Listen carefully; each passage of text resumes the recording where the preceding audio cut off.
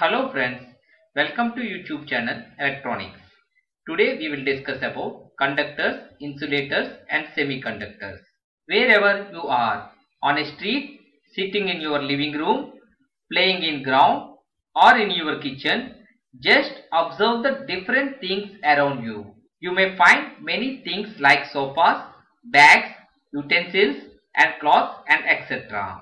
All these different things are made up of different materials like metals, wood, plastic, cotton and etc. We can classify these materials according to their usage, shape, color, transparency and etc. But there is another very important classification of materials is done on the basis of their electrical conductivity. In this classification, we can differentiate materials as conductors as the name says, conduct means materials that transfers electricity through them. And insulators. These materials does not transfer electricity through them. If we perform a simple experiment with 1.5 volts battery and a small bulb which can be between 3 to 4 volts, just try to connect the bulb and battery by using cotton thread. Is the bulb glows? No, it doesn't. Whereas if we perform the same experiment with the help of wires, the bulb starts to glow. You can use rubber band or tape to fix these wires. The electric current is flowing through copper inside the wires. The direction of the electric current flowing through the copper wires from the positive terminal of the battery to the negative terminal through the filament of the bulb. This makes the bulb glow. Just remove any one connection the bulb turns off immediately. But why?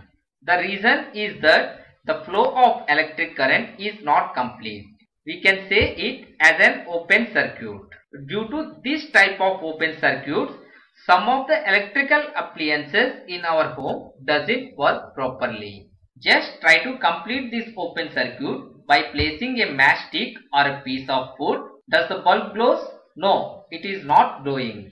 Now remove this matchstick and try to complete the circuit by using a pin or a small nail. Yes, now the bulb lights up. Now remove one end of the paper pin from the wire. The bulb switches off immediately. If you connect the paper pin to the wire, the bulb turns on. And when you disconnect, the bulb turns off. You are using this paper pin as a switch to turn on or off the bulb. This is how an electric switch in your home works. So what you conclude from this experiment? There are some elements which allows the electric current to flow through them and some materials which do not allow the flow of electric current through them. In simple terms, we can say the materials that allow the electric current to flow through them easily are called conductors. This property of the conductors that allows the electricity through them is known as conductivity. Some of the examples of common conductors includes materials such as gold, silver, copper, steel, aluminium and etc. Metals, human body and earth are good conductors. This is the reason why we get electric shocks. The electric current flows through our body towards the earth. The materials that do not allow the electricity to flow through them are called insulators. Some of the common insulator examples are wood, plastic, glass, rubber and etc. There are some materials. They are neither good conductors like copper nor insulators like plastic. Their electric conductivity is in between conductors and insulators. These materials are classified as semiconductors. Silicon, carbon, germanium and etc. are some examples of semiconductor materials. Semiconductors have some useful properties and are being extensively used in electronic circuits. We will discuss about semiconductors thoroughly in some other videos. But why electrical conductivity of conductors, insulators and semiconductors are different? All the materials are composed of very small particles. These small particles are called atoms. The atoms are the building bricks of all materials. The structure of an atom looks like this. An atom consists of central nucleus of positive charge. Nucleus contains protons and neutrons. Around the nucleus there are different circular paths. These paths are called orbits. Negatively charged electrons moves in this orbit. The number of electrons in any orbit is given by 2n square, where n is the number of the orbit. All the electrons can move only in certain permitted orbits. Electrons in each permitted orbit have a certain fixed amount of charge. The larger the radius of an orbit, the greater is the energy of the electron. So it becomes clear that outer orbit electrons which are far from nucleus possess more energy than inner orbit electrons. A convenient way of representing the energy of different orbits by energy band diagram. Here the first energy level band represents the energy of the first orbit. Second energy level band represents the energy of the second orbit. Third energy level band represents the energy of the third orbit. The electrons in the outermost orbit of an atom are known as valence electrons. So the energy of the outermost orbit or valence electrons is known as valence band.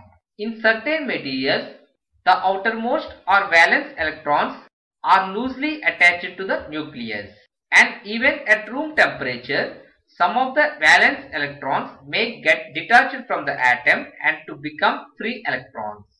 The range of energies possessed by these free electrons are known as conduction band.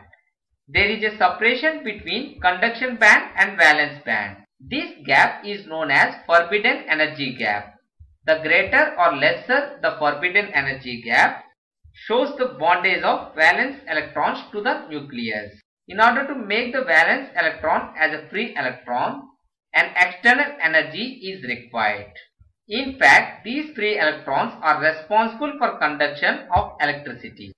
It is because there are a large number of free electrons available in a conductor, for example like gold, which easily allows the flow of electric current through them. In terms of energy band, the valence and conduction bands are overlap each other. Thus, at normal temperature, valence electrons can become free electrons to flow electric current. Because of electrons are negatively charged, the movement of electrons in conductor through the negative terminal of the battery to the positive terminal. In insulators like wood, there are no free electrons available. So they are unable to pass electricity through them. In terms of energy band, the valence band is full, while the conduction band is empty. The energy gap between valence and conduction bands is very large.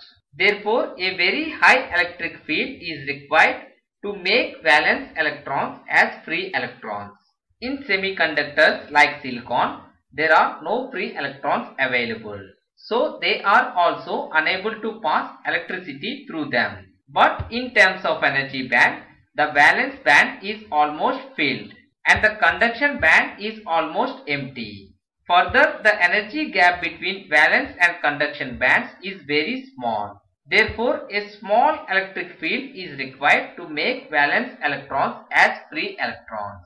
The availability of free electrons is the reason for the difference in electrical conductivity of different materials.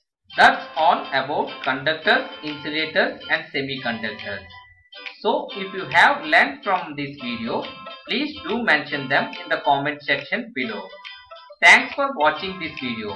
If you like this video, please click the like button. Help others to learn by sharing this video. Please subscribe my YouTube channel and turn on notifications for more such videos. My next video is about current, voltage and power. Have a nice day.